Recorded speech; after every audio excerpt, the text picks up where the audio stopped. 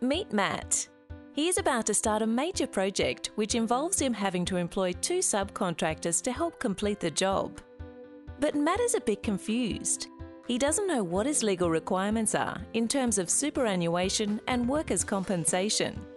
Let's help Matt with his dilemma and take a look at both subcontractors. Our first subcontractor is Dave. Dave runs a business called Dave Subcontracting.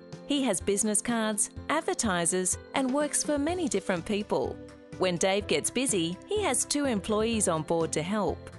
Dave will invoice Matt at the end of the job for one final price. Matt pays Dave as invoiced and completes an annual taxable payments report for the ATO. Jim, our second contractor, will work for Matt on an hourly rate. He must turn up to work when Matt asks, and at the end of each week, Jim will give Matt an invoice for the hours worked.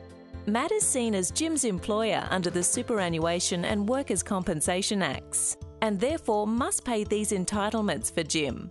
It doesn't matter what agreement Matt and Jim have, or if Jim has his own income protection insurance. Matt must pay superannuation and workers' compensation, as well as completing an annual taxable payments report for the ATO. Remember, it's important to find out your legal requirements. We are here to assist you with any questions you may have.